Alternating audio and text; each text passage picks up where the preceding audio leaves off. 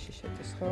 ბატონი ბადრი ბაგრატიონ გრუზინსკი კულტურის მინისტრის მოადგილე არის დღეს ჩვენი სტუმარი და გუშინ სწორედ კულტურის სამინისტრომ გამართა ბრიფინგი, სადაც წარმოადგინა ის პროგრამა, საახალწლო პროგრამა, რომელიც წელს იქნება წარმოდგენილი და მოდით ჯერ ერთი-ორი სიტყვით ამ პროგრამაზე ვთქვათ, როგორი იქნება, როგორც ვიცით, ყველაზე ერთ-ერთი ყველაზე გამორჩეული და ფერადი ახალი წელი ელით დღეს წელს ქართულ მოსახლეობას, ქვეყანას. ეს ქვეყანას, ну, ვცდილობთ რომ ესეთ ესეთი ახალი წელი ვაჩუქოთ ქვეყანას და მე მგონი გამოგვივა იწება დღეს და ყველას ვეპატიჟები პარლამენტის წინ ნაძვის ხის ანთება ხდება. რომელ საათზე დაიქნება ეს ხოლმე? 7 საათზე მოხდება ნაძვის ხის ანთება. მანამდე როგორც ვიცი პატარა ღონისძიება, კონცერტია.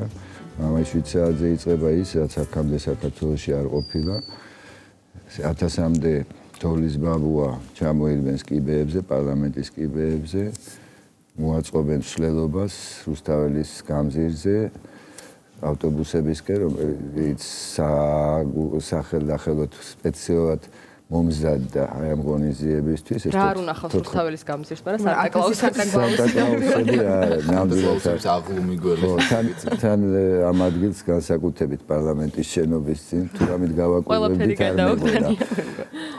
მე ეს 14 ავტობუსი შეჩასხდებიან სანტა კლაუსები და დაიძრებიან საქართველოს აბსოლუტურად ყველა რეგიონში, ყველა რაიონში ჩავლენ, ჩაუტანენ საჩუქრებს, რომლებიც უკვე გამზადებულია 50000 საჩუქარია. გამზადებული, რომელიც დაარიგდება რაიონებში. ეს დღევანდელი დღე და ნუ ფეერვერკით, რა თქმა უნდა, დასრულდება ეს ღონისძიება. ისეთ დამაინტერესა უკაცრავად რომ გაწყვეტნებთ ეს საჩუქრები რა სახისა ტკბილეულია როგორც ტრადიციული. კი, კი, ტკბილეულია და კიდე სათამაშოები ძდეს. პარამბოს ფილმი დაგვეხმარა ძალიან. სხვა შორის ვერში დაგვიდგა ამის განსახორციელებლად. 50000 წელი ხვალვე უკვე დაიძრება რეგიონებში პირველი ჩასვლები უკვე ხვალე იქნება. და ვინ არიან ეს სანტა კლაუსები 1000 სანტა კლაუსის პოვნა? მე მგონი საქართველოს მოსახლეობა არ გვიწყობს ხელს მასშტაბებით რომ ამდენი მსახიობი. ნუ გამოჩნდა ხალხი, მსურველები, ორგანიზაციები დაგვეხმარენ ძალიან. ისისაც მადლობას გადაუხდით მათ და დიდი მადლობა ვინც დაგვეხმარა სანტა კლაუსების მოძიებაში, მან საქართველოსში მოვიძიეთ სანტა კლაუსი. ალბათ ბევრი არის სტუდენტები არიან და ძირითადად სტუდენტებიც არიან პოლიციის აკადემია დაგვიდგა გვერდში ძალიან. მე მოიცაჭრება გახდა რომ სანტა კლაუსების ბიურო გაიხსნა? საქართველოს აი მომავალ წლისთვის უკვე წინწაგდებული საქმე გვექნება გავხსით ამ ბიუროს ვერ მგონი თუ წელს მოწელს უფრო მეტი სანტა კლაუსი რა თქმა უნდა ციფრი უნდა გავზადოთ ციფრი აუცილებლად. თუ წელს მოეწონებათ მოგვიწევს გავზადოთ ციფრის რა სიტუაციებს ეს ნაძვის ხის საახალწლო შოუ პროგრამა მე მგონი ესე ქვია ხო? ხოდის ტიპი. დღევანდელი, დღევანდელი იქნება, ნუ ესე დავარქვათ, ეს თავარი ნაძვის ხია, ხო? ქვეყნის უნდა აინთოს. ანუ დაიწყო ახალი წელი. აი ესე ვიწყებთ. და ზოგადად პროგრამას რო გავყო პროგრამას ერთად მერია არ კურირებდა ანუ კულტურის სამინისტრო როგორ ჩაერთო იცით როგორ არის არის პროგრამები რომელსაც ერთად ვაკეთებთ არის რომელსაც ცალკე აკეთებს მერია და ცალკე ვაკეთებთ ჩვენ მაგალითად ნაძვის ხესთან დაკავშირებული ნაძვის ანთება ერთად ვაკეთებთ ეს მერიის ინიციატივა იყო ჩვენ შემოვერთდით და ჩვენ დავუმატეთ სანტა კლაუსები და რეგიონები ეს უკვე ჩვენი იდეა იყო და ნუ ერთად მუშაობთ, მოდით ესე ვთქვათ. ან მერიისთვის რომ მიგენდოთ მხოლოდ და კულტურის სამინისტროს ვთქვათ, უფრო რა ის პრიორიტეტები რაც გააჩნია, ვთქვათ, აი იმაზე ეზრუნა. მე ხა კულტურის სამინისტროსაც გააჩნია ღონისძიებების დეპარტამენტი და ჩვენი საქმიანობა ამ დეპარტამენტის არის ღონისძიებები. არ შემოიფარგლება მარტო სანტა კლაუსებით ჩვენი ორგანიზების დეპარტამენტი. არა, 31-ში იქნება ასევე გალა კონცერტი იმ ადამიანებისთვის, ვისაც უნდა რომ გარეთ შეხვდეს თუნდაც ახალწელს, ხო? რა თქმა უნდა, ეს 31-ში იქნება ალტერვიზიონი აკეთებს მერიის დაკვეთით ამ ღონისძიებას. უბრალოდ ჩვენ თანადამფინანსებლები ვართ. ეს ეს რატომ ალტერვიზიონი? ეს მაგას ვერ გეტყვით და რატომ? იმიტომ რომ ესე იგი ჩვენ ცოტა გვიან ჩავერთეთ ამ ღონისძიებებში გარკვეული მიზეზების გამო და უკვე მერიას ხელშეკრულება ქონდა გაფორმებული ალტერვიზიასთან და იქ იყო რაღაც სეგმენტები დასაფინანსებელი და ჩვენ ერთ-ერთი ავიღეთ და დავაფინანსეთ. თანადამფინანსებლები ვართ ამ ღონისძიებაზე. და ნუ რაღაც მოკლე მიმოხილვასაც რო გავაკეთოთ, როგორ იქნება ეს გალა კონცერტი? ანუ ეს იქნება სტანდარტულად და ტრადიციულად ესტრადის მომღერლები თუ იქნება უფრო საბავშვო? მე ვერ გეტყვით როგორ არის რა ხდება ამ გალა კონცერტზე ეს ჯობია ისე ალტელევიზიონის წარმომადგენლებს დაელაპარაკოთ, იმიტომ რეპეტიციებზეც არ დავდივართ ჩვენ საქმეები გვაქვს უამრავი და რახან ანდეს ესე იგი გამოცდილი ხალხია და ეთქობა თუ კონცერტს არ გააკეთებენ. კეთილი ბატონო ბადრი ჩვენ გადაცემის პირველ ნაწილში შევეჯამეთ რა ხდებოდა ქართულ თეატრში. მოდით აი კულტურის სამინისტროს თვალთა ხედვა. უკაცრავად ერთი გონიზება დაგვავიწყდა ყინულის დედოფალი რომელიც ძალიან საინტერესოა და საინტერესოა კიდე იმიტომ რომ პრემიერი საოცრად უხსტუმრიანი მასპინძელი გამოვა 5000 ბავშვი ყავს ბავშვ დაურიგეს ბილეთები და რომლებიც დაპატიჟა 29-ში და მასპინძელი იქნება მისი ინიციატივით მოხდა. ისე ზოგადად ალბათ ისეც უნდა აღინიშნოს რომ თქვენი ღონისძიებების დეპარტამენტი გარკვეულწილად გაიმიჯნა თითქოს შოუ ბიზნესს. რატომ მოხდა ეს? შოუ ბიზნეს გაიმიჯნა, რა გეტყვით ეს ჩემი ინიციატივა იყო რომ მოვედი კულტურის სამინისტროში. მე ესე ვთვლი რომ შოუ ბიზნესი ეს სიტყვა ბიზნესი გეუბნება რომ არ უნდა იყოს სახელმწიფო სტრუქტურის დაქვემდებარებაში. შოუ ბიზნესი უნდა იყოს ცალკე აბსოლუტურად კულტურის სამინისტროს აქვს უამრავი სხვა საქმე. აი მაგალითად ამ გონიათ რა ხან ღონისძიების დეპარტამენტია ჩვენ კონცერტებს ვაკეთებთ. ეს აბსოლუტურად ძარი შეხედულებაა ამ დეპარტამენტის მიმართ. ჩვენ გავაკეთეთ გეტყვით რა ღონისძიებები. გაკეთდა ქალბატონი ნანის დისკის ჩაწერა მოხდა. აი ხა მარგალიტები დისკი რო იწერება, იცით, სოფლიოში ჩვენი ვოკალისტები თითქმის ყველა საოპერო თეატრში მღერიან. ჩაწერა ხდება მათი მოწვევა და ჩაწერა ერთ დისკად. შინის დისკი გამოვეცით. ფესტივალები ჩატარდა. ქალბატონი ელისოვის რადის ფესტივალი ჩატარდა. ქალბატონი ლიანა ისაკადის ფესტივალი დავაფინანსეთ. ბატონი გიზი ამირეჯიბის სახელობის ფესტივალი დავაფუძნეთ ჩვენ. და ასე შემდეგ და ასე შემდეგ. კულტურის სამინისტრო უნდა აკეთოს ჩემის აზრით აი ეს საქმეები და არა ის რომ შოუ ბიზნესში რაც ის კონდეს ფარველობა შოუ ბიზნესი აბსოლუტურად სხვა რამეა. თქვენ ვერ მეტყვით ვერც ერთ ქვეყანას სადაც კულტურის სამინისტროზე იყოს მიმაგრებული შოუ ბიზნესი. არა, რა თქმა უნდა, თვითონ ახსენეთ კიდეც რომ ეს ბიზნესია და თქვათ მას არ ჭირდება სახელმწიფოსგან თუნდაც ფინანსური მხარდაჭერა. მე მაინტერესებს აი როგორ ხდება აი ღონისძიებები ჩამოთვალ, ამ ღონისძიებების დაგეგმა, ანუ არსებობს თუ არა თქვა ერთიანი შემშევებული თუ არა კულტურული პოლიტიკა, თქვა რის მიხედვითაც ეს ღონისძიებები დაიგეგმებოდა, ანუ თანმიმდევრულად. და ანუ მნიშვნელობას ღონისძიებების მნიშვნელობას როგორ ადგენთ? აი სანტა კლაუსებზეც იმიტომ კითხეთ. ნუ სანტა კლაუსები ეს იცით, ხა წელიწადში ერთხელ ტარდება, ერთხელ არის ახალი წელი და ამ ღონისძიებაში ჩავერთეთ. რა თქმა უნდა, რაც შეეხება თქვენ კითხვას, როგორ ხდება ღონისძიებების დაგეგმა? ჩვენ არ ვიღავთ ღონისძიებებს, შემოდიან პროექტებით. არსებობს მუდმივ მოქმედის საბჭო კულტურის სამინისტროსთან არსებული პროექტი გამოაქვთ ამ საბჭოზე, სადაც თუ არ ვწდები 15 კაცი ზის და ამა თუ პროექტის აქტუალობას და მნიშვნელობას გადაწყვეტავს საბჭო. აი მის შემდეგ უკვე ჩვენ ვაფინანსებთ პროექტებს და არა ის რომ ჩვენ ვაკეთებთ ამ ღონისძიებებს, გამიგეთ საქმეში. და ამ ღონისძიებებს ვთქვათ რა უნდა მოყვეს? აი ამ ამის მიხედვით ირჩევთ ალბათ იმას, რასაც დააფინანსებთ. ხო, ამის შედეგი, ანუ არის საგანმანათლებლო ფუნქცია აქვს თქვა აი ამ ღონისძიებას. არის რომ რა თქმა უნდა ესეთებიც არის. აი ამის მიხედვით და აი მე გეტყვით, ჩვენ მაგალითად ჩვენი ინიციატივით მოხდა ეს წამოვიწყეთ ეს საქმე. 50-მდე მასტერ-კლასი ჩატარდა საქართველოს სხვადასხვა რაიონებში. საერთოდ მონაწილეობას იღებდა ტრიო, კვარტეტი, ჯაზ კვინტეტი და ფოლკლორის ანსამბლი, სულიკო თუ არ ვცდები, ჩადიან რაიონებში, აკეთებენ კონცერტს, ატარებენ მასტერ-კლასებს.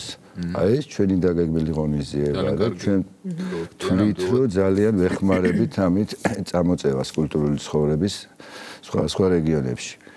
და გამოძახილიც ძალიან კარგია, იმიტომ რომ ჩვენ ახლა დავაფუძნეთ 9 9 წლედი რეგიონებში მუსიკალური სახელოვნებო და ჩამოვიდნენ გითხეს აი თქვენ ამ კონცერტებმა და მასტერკლასებმა ძალიან იმოქმედა ადგილობრივ მოსახლეობაზეო და რაოდენობა რიცხვი გაიზარდა მსურველებისო.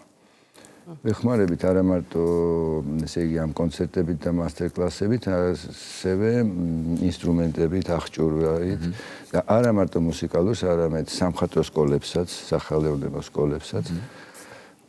კიდე გავხსენით 16 კინოკლუბი რეგიონებში. 16 კინოკლუბი? კი, სხვადასხვა რაიონებში, ახლა გავხსენით მოსაზღვრე რაიონებში, საზღვართან ახლოს რაიონებში გავხსენით. იგი დღის სეანსები არის უფასო. იმიტომ საგანმანათლებლო დატვირთვა აქ უფრო ამას გვინდა რომ ქართული ფილმები, ქართული სპექტაკლები რო ჩანაწერები არის მაგისი და საგანმანათლებლო ფილმები ჩაიტანონ რეგიონებში და ბავშვებმა დილით უფასოდ იარონ ამ ამ სიას. ეს ადგილობრივი მუნიციპალიტეტები. ადგილობრივი მუნიციპალიტეტებს გადავეცით ეს და მონტაჟით შედის ამაში ჩვენვე დაუმონტაჟეთ და საღამოს სეანსები რა თქმა უნდა უნდა იყოს ფასიანი რო იარსებოს იქ შუქის ფულია გადასახდელი იქ ოპერატორის და ასე შემდეგ და ასე შემდეგ. აი ესე ვეხმარებით. გარდა მაგისა, აი თქვენ რომ ესტრადაზე რადგან საგანმანათლებლო არისო, ახსენეთ რა პროგრამა იქნება ამ კინოკლუბებში? ეგეც საინტერესოა. აი ხომ გითხარით, ქართული ფილმები, ჯერ მარტო ერთი წელი მოუნდებიან ქართული ფილმების ნახოს. დენირო იციან და სერგო ზაქარიაძე არ იციან. ჯარისკაცის მამა არ უნახიათ ქართველ და რომელ ქართველობაზე შეიძლება ლაპარაკი და აი სულით ვერ გაიზრდებიან თუ არ ნახე. სხვა ცირს არ მახსოვს ვინ მოყვა ზურაყიფშიძესთან ერთად დადიოდა თუმცა დენირო აქ რო იყო ჩამოსული და ზურასთან მედიოდნენ ავტოგრაფებს წეს ვინ არისო გაგიჟდა დენირო და სხვათა შორის რაც ამბობენ რომ ბრალს გვდებიან რომ აი ქართულ ესტრადას არ ეხმარებიან მე კიდევ ერთხელ ვიმეორებ, რომ დახმარება არ ვიცი მე. როგორ შეიძლება დაეხმარო 50 და 40 წლის მომღერალს პირიქით ის ის უნდა დაეხმაროს. ქვეყანასო ბიუჯეტი შეიტანოს რაღაც თანხა კონცერტებიდან. ჩვენ სწორედ თუ ძალიან ვეხმარებით და რითი გეტყვით ჩვენ 8 კომპლექტი აპარატურის, ინსტრუმენტების 8 რეგიონში გადავაგზავნეთ. და მოთხოვნა არის ეს, რომ ახალგაზრდები დატვირთონ მინიმუმ 15 კაციანი ანსამბლები გააკეთონ. კუჩაში რო არ იდგნენ, იმიტომ რომ იცით ქართველები ნიჭიერი ხალხი ვართ, მღერი ვართ და ჯობია შევიდნენ დარბაზში დაუკრან და გაიზარდონ კაი მუსიკოსებად, ვიდრე კუჩაში იდგნენ და დორაში მოკლან არის.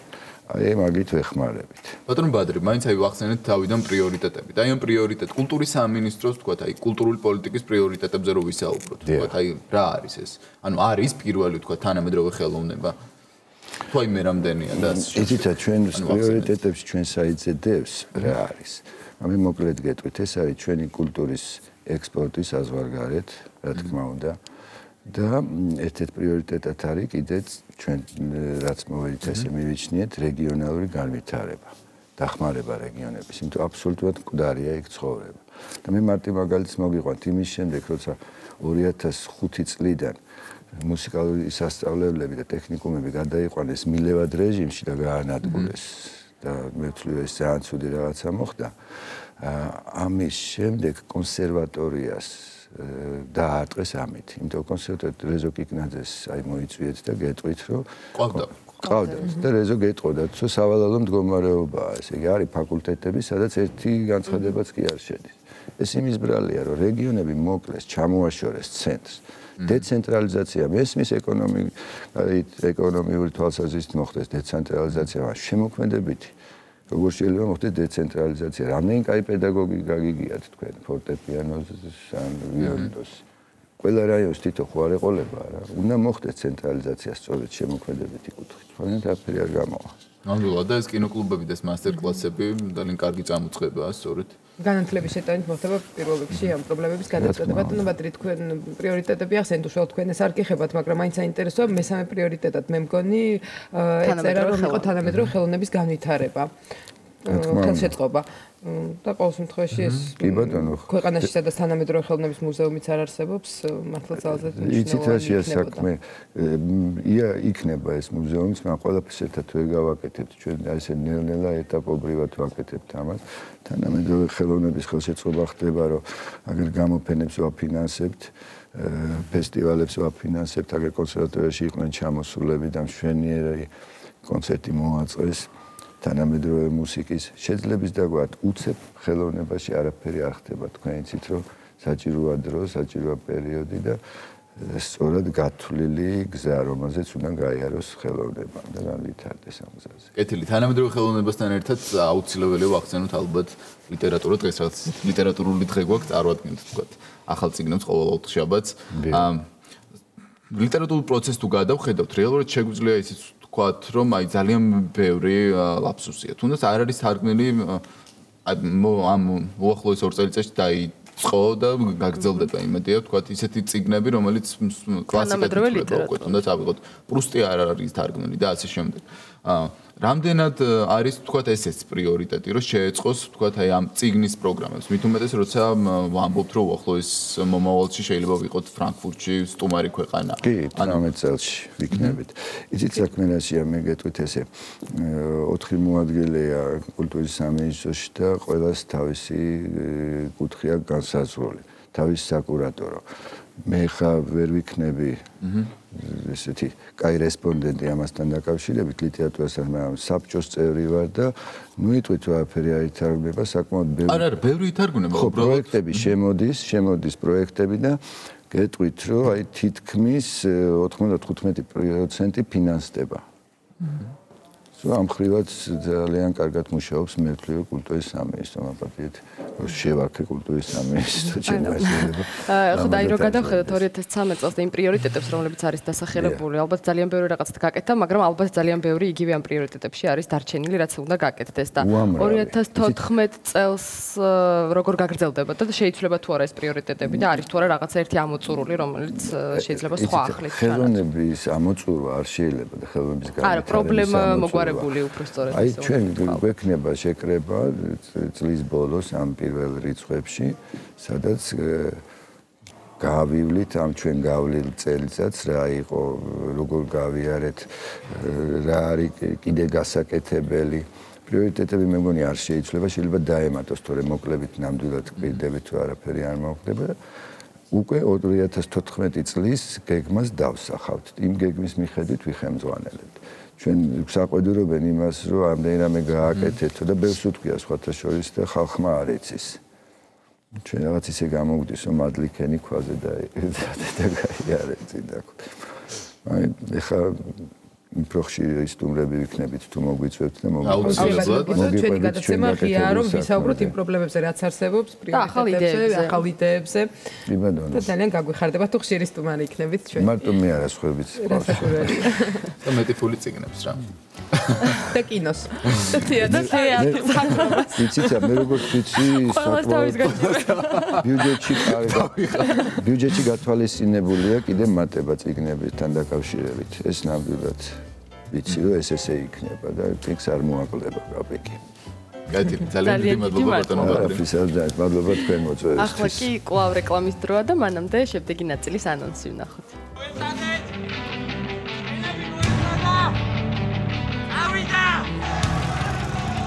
საქართველოს ეკრანიზებული ისტორია, მეფეები და მათი მოღვაწეობა. დროის მანქანის შემქმნელები ამჯერად ვახტანგ გორგასლის ეპოქას გააცოცხლებენ.